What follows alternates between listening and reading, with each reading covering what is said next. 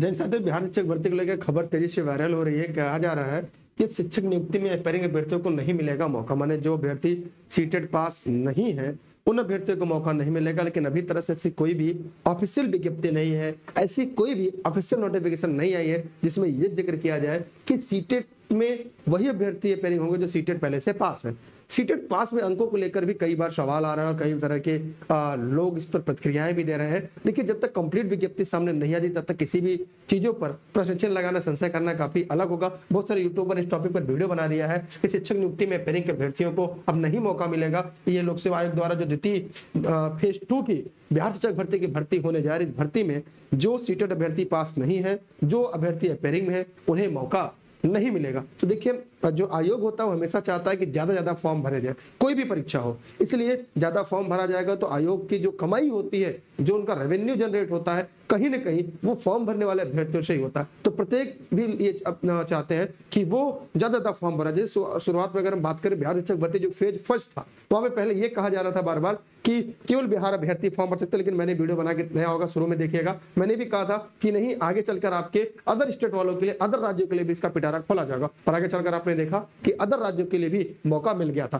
तो फ़िलहाल वही स्थिति अभी भी है, जहाँ पर ये साफ़ साफ़ कहा जा रहा है कि जो सीटेड में जो अभी तक पास नहीं है, उनके लिए भी आवेदन बिहार सरकार जो बिहार बीपीएससी है, नई शिक्षक भर्ती जो जनरेट होने वाली है मतलब यू कह सकते जो फ़ेज़ टू जिसमें कहा जा रहा है कल से आवेदन प्रक्रिया शुरू होगी, उसमें अपेयरिंग के अभ्यर्थी भी आवेदन कर सकते हैं। लेकिन अभी से लोग डरे हैं, अभी से लोग सहमे उनको लग रहा है कि यार मेरा चयन नहीं पाएगा, मैं तो बाहर हो गया, ऐसा कुछ नहीं है। अपेयरिंग के अभ्यर्थी आवेदन कर पाएँगे पोर्टल पूरा पूरा खुलेगा, नहीं खुलेगा तो उनको बीच में मौका मिलेगा, लेकिन ये ध्यान रखिए और पढ़ाई करते रहिएगा, आपको मौका ज़रूर मिलने वाला है। दूसरी बात कि सीटेट अंकों को लेकर बहुत सारे सवाल आ रहे हैं, उन पर भी मैं एक एक करके बात करना चाहूँगा। जो भी साथ इस वीडियो को देख रहे हैं, पहला काम वीडियो को शेयर लोगों तक ज़रूर करिएगा। क्योंकि इस तरह की कोई ऑफिशियल नहीं पेपर की कटिंग आई है। उसी पेपर कटिंग को लोग बता रहे हैं कि इस बार बिहार में अपेयरिंग अभ्यर्थियों को मौका सीटेट में नहीं मिलना। जो सीटेट अपेयरिंग है या जो सीटेट पास है नहीं है उन्हें बिहार शिक्षक में ड्यूटी फ़ेज़ में आवेदन करने का मौका नहीं मिलेगा। इस तरह से अफवाहों से बचेगा। दूसरी एक बड़ी बात है कि सीटेट में अगर किसी के पचहत्तर नंबर है तो उनको भी मौका मिल सकता है। जी हाँ, आपको जानकर बड़ा आश्चर्य भी लगेगा कि पचहत्तर नंबर भी कोई अगर पाएगा तो उसे कैसे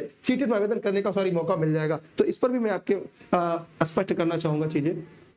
ध्यान दीजिएगा जो बिहार के निवासी हैं, जो बिहार के अभ्यर्थी हैं, और जो एस सी कैटेगरी की महिलाएँ हैं, उन्हें पचहत्तर अंक सीटेड में अगर है तो सीटेड उन्हें पचहत्तर नंबर मिला है। फिर भी वो आवेदन कर सकते हैं, जबकि सर्टिफिकेट में वो फेल रहेंगे। लेकिन अगर उनका मार्कशीट है, उनके पास सीटेड का, उन अभ्यर्थियों को भी सीटेड में पचहत्तर अंकों वालों को भी बिहार शिक्षक भर्ती जूनियर में अगर है तो जूनियर शिक्षक भर्ती में फॉर्म भरने का मौका मिलेगा, चाहे बीटीसी या बी एड डीएलएड कोई भी अभ्यर्थी नहीं हो। एक बात सीटेड के अंकों को लेकर आ रहा है अदर स्टेट के लिए, उस पर भी मैं क्लियर करना चाहूँगा। देखिए अदर स्टेट की महिलाओं के जो अंक है, अगर यहाँ पे हम बात करें अदर स्टेट को लेकर दूसरे जो राज्य है, जी हाँ यहाँ पर इस बात को भी हम क्लियर करना चाहेंगे कि जो अदर स्टेट है अदर स्टेट के अभ्यर्थियों के लिए बार बार कहा जा रहा है कि बयासी प्लस अभ्यर्थी आवेदन ज़रूर करें। देखिए, जो महिलाएँ हैं, उनको तो पूरा पूरा मौका है। उनके लिए तो मैं भी आपने देखा कि फिर फ़र्स्ट में भी जिनको बयासी प्लस थे, अपनी कैटेगरी में जो थे, वहाँ बिहार में जाकर उन्हें आज नियुक्ति पत्र मिल गई है और वो अपने अपने विद्यालय की अग्रसर हो गए। लेकिन कुछ ऐसे अभ्यर्थी हैं, पुरुष, जो ये बार बार कह रहे हैं कि उनका बयासी प्लस था, फिर भी उन्हें उन्हें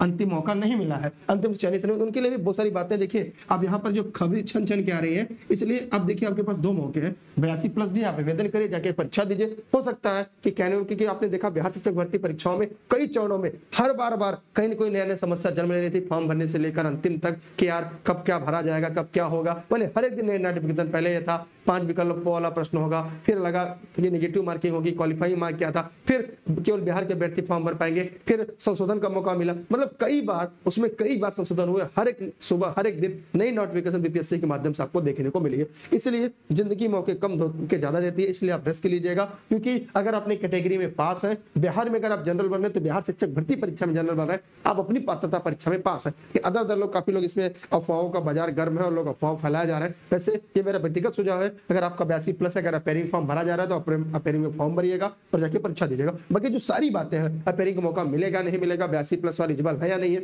ये बिहार शिक्षक भर्ती की जो इस बार की विज्ञप्ति आएगी, उस पर पूरी तरह से क्लियर रहेगा। क्योंकि अगर वो अपेयरिंग को नहीं लेंगे तो फॉर्म भी बहुत कम भरे जाएँगे। क्योंकि सीटेड जूनियर बहुत कम अभ्यर्थी पास है। बीएड बीटीसी के अभ्यर्थियों की मैं बात करूँ तो पद से कम लोग ऐसे होंगे जो उनको यही नहीं मिल पाएँगे, जो फॉर्म भरने के लिए इनको मौका मिले। इसलिए ध्यान रखिएगा कि सीटेड अपेयरिंग को मौका मिल सकता है। यहाँ तक हो सकता है बीटेड भी करा ले। यहाँ भी ध्यान दीजिएगा। हो सकता है बीटेड करा ले, इसलिए बीटेड अपेयरिंग को मौका मिल सकता है। अगर सीटेड नहीं हो पा रहा है तो बिहार सरकार बीटेड भी करा सकती है।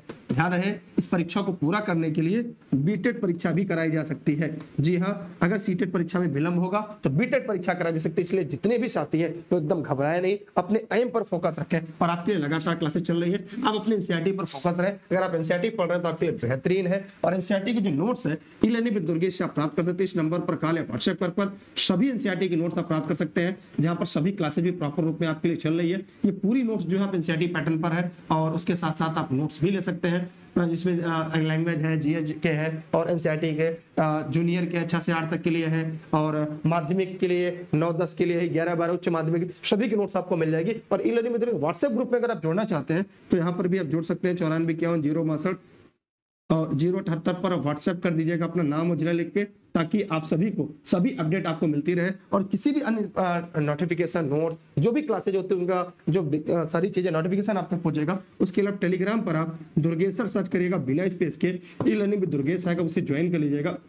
इसको ज्वाइन करने के साथ ही ना, आपको सभी क्लास के नोटिफिकेशन लिंक आपको एक ही जगह मिल जाएगी। आपको परेशान होने की ज़रूरत नहीं है। अंत में निचोड़ यही निकला कि अगर आप बयासी प्लस प्लस हैं और आप अदर स्टेट से हैं तो आवेदन करिएगा। डरिएगा नहीं तो होना क्या है? क्या पता कल को हम ही ना रहे और जीवन ही ना रहे। इसलिए लाइफ में रिस्क ज़रूर लीजिएगा। आपके लिए दो चीज़ें होंगी, या तो सबक मिलेगा, या तो सफलता मिलेगी। तो बयासी प्लस वाले भी आवेदन करिएगा। आवेदन करने का मौका है। महिला अभ्यर्थी तो है, क्योंकि महिला अभ्यर्थी, जहाँ तक मुझे जानकारी, कई महिला अभ्यर्थी जिन्होंने ज्वाइन किया है, बयासी प्लस पे भी थी। और दूसरी बात यह है, पुरुष को लेकर थोड़ा संशय का विषय बना, लेकिन यह भी अब मामला क्लियर है कि बयासी प्लस में अगर कोई पास है तो वो भी पुरुष भी अभ्यर्थी आवेदन ज़रूर करें। और कई बात एक सवाल और भी आ रहा है कि ज़्यादातर लोग ये कह रहे हैं विषय को लेकर, इसका क्या होगा? मैंने सारी वीडियो बना के देखी आपका सिलेबस कैसे है, विषय का चुनाव कैसे करना है, सब पर मैंने वीडियो बना दी शाम के छह बजे, रात के नौ बजे, सुबह के आठ बजे, दिन के दो बजे अलग अलग अंतराल पे आपके लिए वीडियोज़ आ रही है। आप उसे पढ़िएगा, अपनी कम समय बेहतर और सटीक तैयारी करने भी एनसीआरटी पढ़िएगा एनसीआरटी किताबें अगर आपको लग रही, मोटी पढ़ रही तो एनसीआरटी के नोट्स हिंदी, अंग्रेज़ी दोनों मीडियम में